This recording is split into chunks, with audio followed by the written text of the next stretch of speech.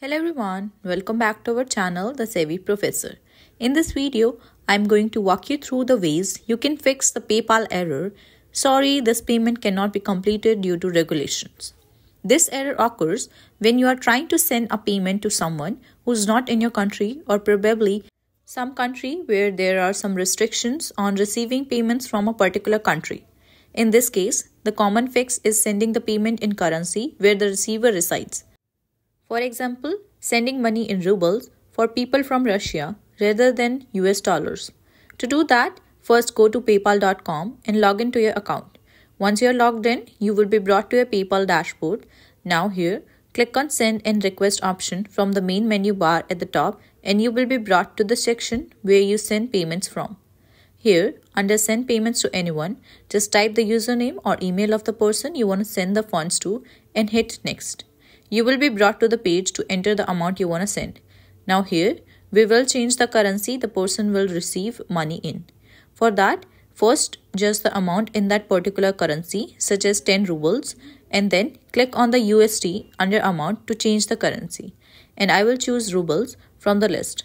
Here, just choose the currency in which the receiver will get the money in and his or her home currency. Once I click on ruble, the amount will be deducted in the USD from my PayPal, which is $0.12 for example. But the money will be sent in rubles. Finally, click on next and finish the payment. This should let the payment go through and no more errors for you.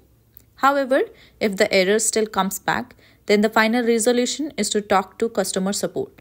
For that, click on the home option from the top main menu bar on the left and you will be brought to the dashboard. Here, Scroll down to the very bottom until you see Contact next to Help. Click on it and you will be on the new screen with common issues. Scroll down to the bottom until you see Message Us under Recommended and click on it. Finally, a chat window on the right will pop up where you can briefly explain the issue to the customer service agent. Here, say something like, Hey there, I have encountered an error while making a transaction stating sorry this payment cannot be completed due to the regulations. I have tried zero down to the issue but can't find one. I hope you can help. Shortly, a PayPal agent will be with you.